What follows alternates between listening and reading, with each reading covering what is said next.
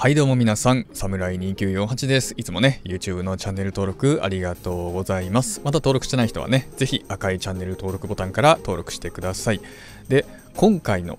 動画なんですが、ちょっとですね、フォールアウト76で最近初心者さんが増えてきたようなので、暗号解読のデイリーオプスの、しかもですね、弾力性、これをですね、レベル900ぐらいの人間がどうやって対処してクリアしているのかっていうのをですね、えー、まあ、ざっくり解説していきたいなと思います。で、具体的にですね、どんな風に難しいのかっていうのをちょっとですね、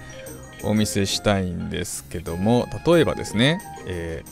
ー、よいしょ、こんな風にスコーチさんいますと、ちょっと HP 見てほしいんですけども、HP、ね、今、左下の HP はね、3分の1ぐらいありましたよね、白いのは。でも、こんなに簡単にやられてしまったと。で、これを見た皆さんですね、あのどうせね、柔らかい装備してるから、そんなにあなたさっくり死んだんでしょみたいなことをね、思うかもしれませんがね、ちょっとよく見ててください。この後ですね、あの、ちょっと私のステータスをですね、ちょっとお見せしたいんですけども、これどこにいるんだろう。どこにね、行ってもまあいいんですが、えー、これですね、どこにいてもよくない。来てる来てる。えー、物理防御400近く、エネルギー防御300近く。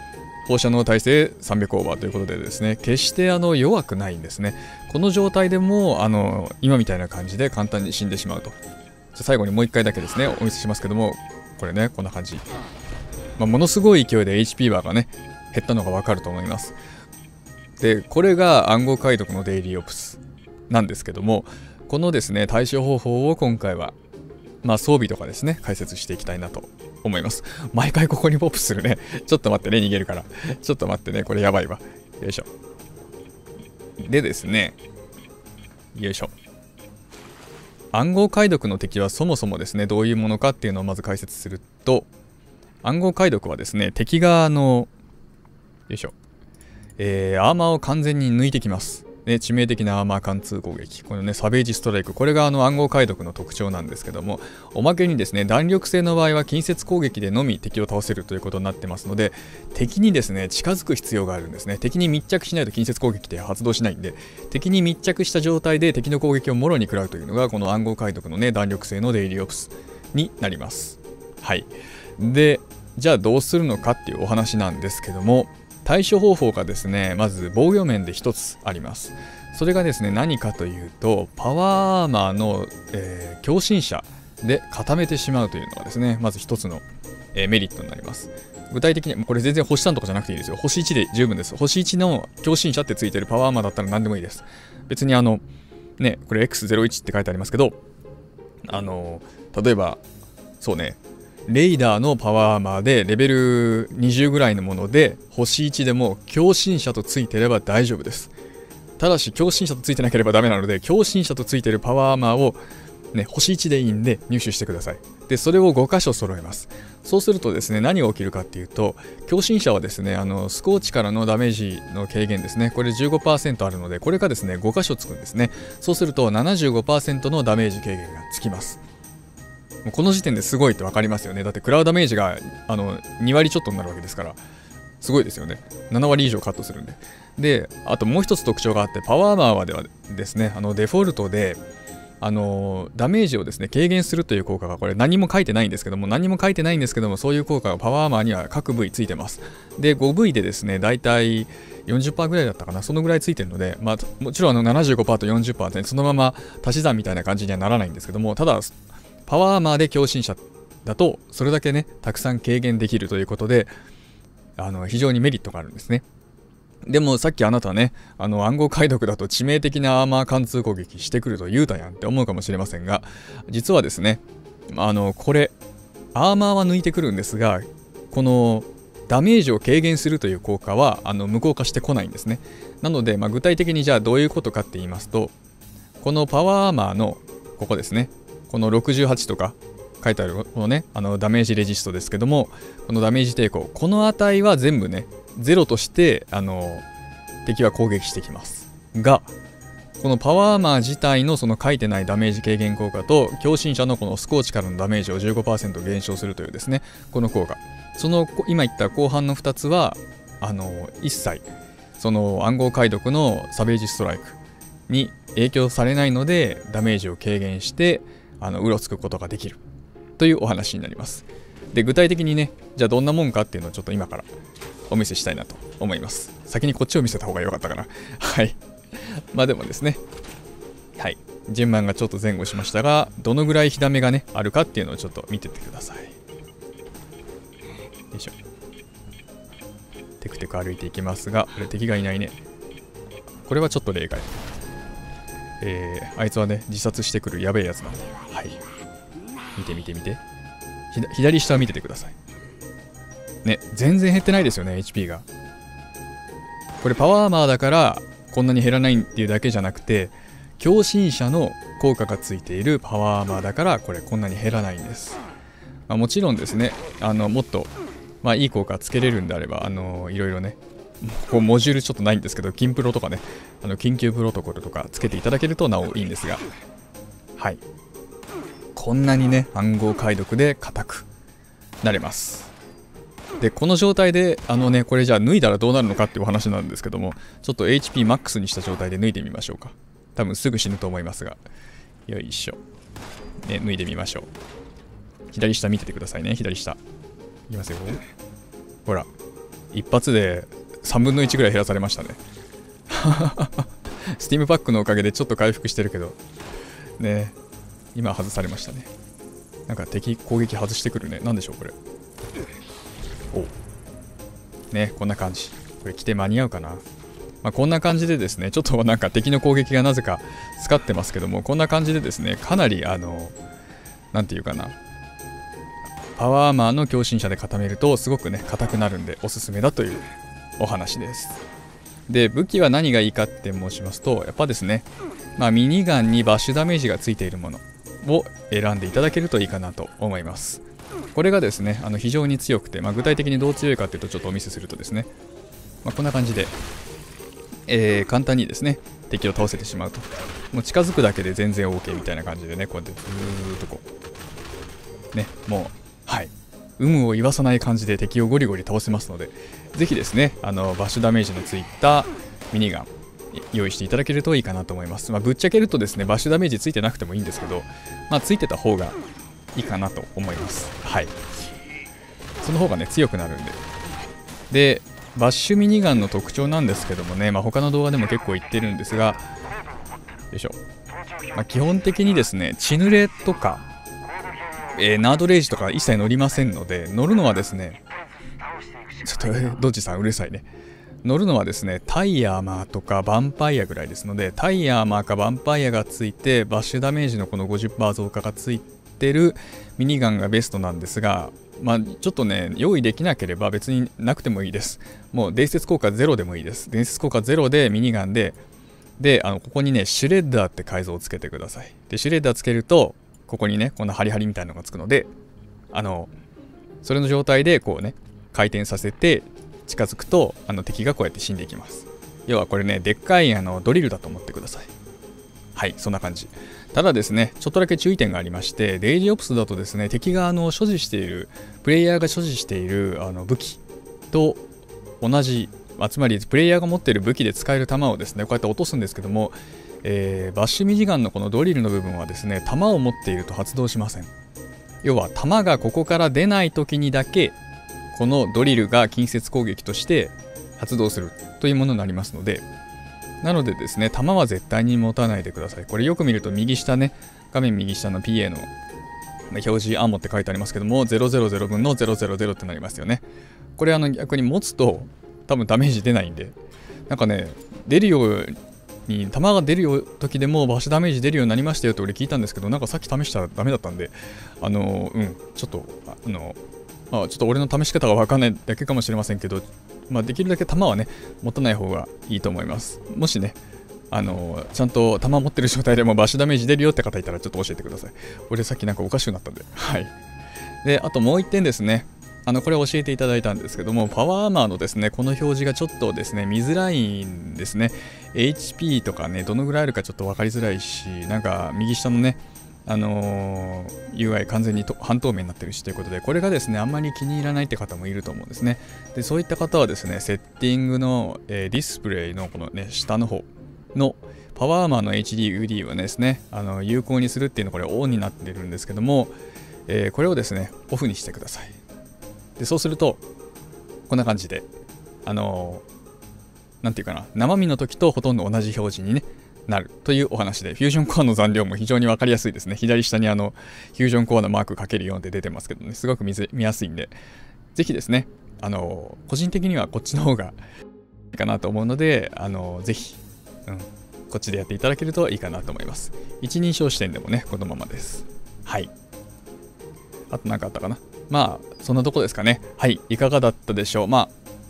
えー、覚えることね、そんなないので、これ。はい。で、あと、余談なんですけど、すけどあのこれあくまで今日のデイリーオプスに合わせてね、これ発言してますので、ちょっとね、また言うのはあの前後しましたけども、これあの、共振者だから、えー、スコーチで、よいしょ。もちろんですね、他の時は別のをね、つけてください。で、それが具体的に何なのかっていうのをですね、今から最後にお見せするんですけども、はい。あと、パワーマン、あ、パークとかもね、ちょっとお見せした方がいいかな。うん、パークとか。うん。基本的に俺の動画はですね、最初から最後までみちゃんと皆さんが見てくれているっていうのを大前提で話しているので、あのね、途中でね、これあの見るのやめた人は、あの、スーパーミュータントのステージでね、共振者つけていくかもしれませんけども、はい。あの、皆さんはね、今この動画をここまで見てる皆さんはちゃんとここ、うん、話を聞いてくれてると信じておりますので、最後までね、解説したいと思うんですが、例えば、じゃあスーパーミュータントのデイリーオプスの時は、えどうするかとかいうお話をですね、この後していくんですけども、よいしょ。例えば、スーパーミュータントの時は、これですね。こんな感じ。ミュータントスレイヤーってね、ついてるやつにしてください。ミュータントじゃないですよ。ミュータントじゃなくて、ミュータントスレイヤーですね。ミュータントスレイヤーが大事なんでね。ミュータントをスレイする場所までちゃんとね、名前がついたやつを揃えてください。これも別に星1でいいです。まあどまあ、どうしてもなんかつけるんだったらね、AP 回復とか、あの武器重量軽減とか、ね、あと飲食重量軽減とか、炎耐性とか爆発耐性とかついてるものがいいですけどもね、あと騎士とか、あとインテリジェンスとかですね、そういうものがついてるのがまあいいんですけども、まあなきゃないで全然大丈夫です。で、えー、ロボットの時はですね、じゃあ何がいいかっていうと、コアシアですね、コアシアの。これはあのー、俺がサイロに行く時にもよくつけているパワーマーです。要はサイロ内ってね、核ミサイルを撃つサイロ内って敵が全部ロボットなんで、これつけてるとあの全然もうダメージ食らわなくてですね、もう敵とかもうほとんど無視でいってるんですけども、はい。素晴らしいパワーマーです。はい。まあこんな感じですね。で、じゃああれだね、人がいるとき、ブラッドイーグルの時とかね、どうすんのって話なんですけど、ブラッドイーグルはね、人なんで、ちょっと俺まだ V 足りてませんけども、えー、暗殺者で揃えてください。はい。で、なんかね、敵がね、毒を、なんか死んだ時毒を撒き散らすみたいなステージだと、毒耐性ね、まあ、あった方がいいんで、できればね、50ぐらいあるとすごく楽なんですけど、まあ、